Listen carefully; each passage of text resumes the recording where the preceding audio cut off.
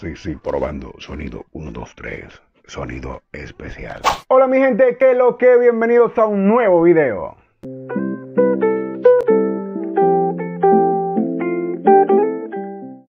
¿Cómo están todos mi gente? Bueno, hoy es miércoles, así que hoy toca un nuevo video. Hoy yo para salir un poquito de la rutina, me fui para el Museo de Chincha Alta, Perú.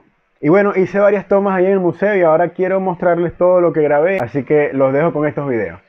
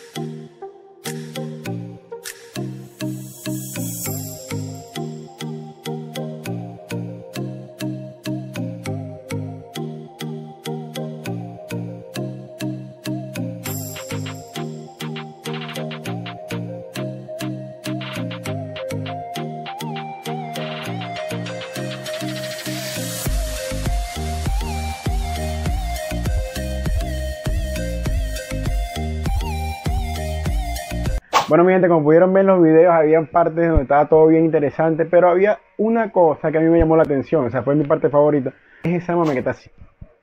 O así. Horrible así. Ella está muy triste, ella como que murió así. Eh, eh, horrible, ella llorando y vaina.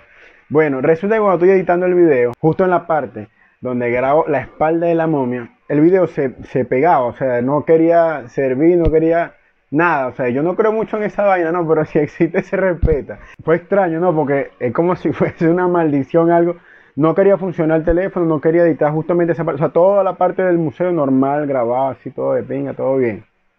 Pero justo en esa parte mm, dejaba de servir el teléfono, o sea, algo súper misterioso, así como que la momia estaba maldita.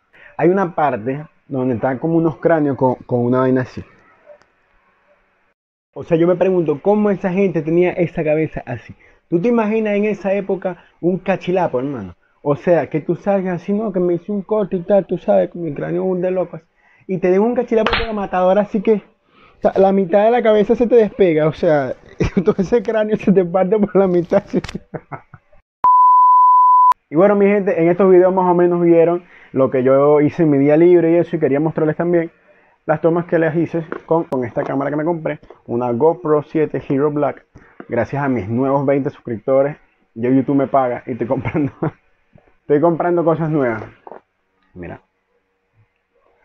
Y no estoy grabando con esta, sino con el celular, porque resulta que esto, el campo de visión de esta cámara es completo. O sea, me graba todo el cuarto, todo el cuarto y estaba hecho un desorden y no les voy a enseñar mi cuarto así, porque me da pena, pues.